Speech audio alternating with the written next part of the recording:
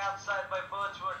Birchwood is the leader, close to about three quarters of a length in front of Decorum in second position. Further length behind, holding the fence, we've got Seema Heels being joined on the inside by Benediction. In between horses, we've got Griffin. Further back in the field, we've got Katana on the outside, a stroke of genius. The one who's making some quick forward move there on the outside is Sainthood. For the back then to Classic Jump, traveling about 3-4 wide off the fence. In between horses, we've got. After Lucky Isabella as they make their way towards the 600. Birchwood is clear close to about half a length in front of Decorum is all the time in the second position. The one who's traveling in between horses, we've got Griffin. Benediction comes in next. For the back in the field, we've got C. Michaels, Classic Jam, and gradually improving position. In between horses is Katana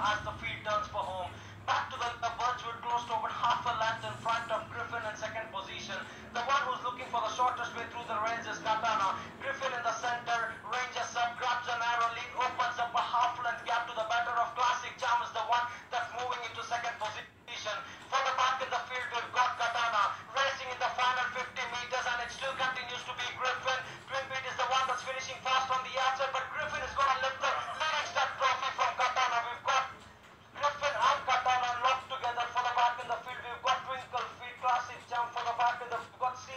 after that, the Sainthood. Then we've got the other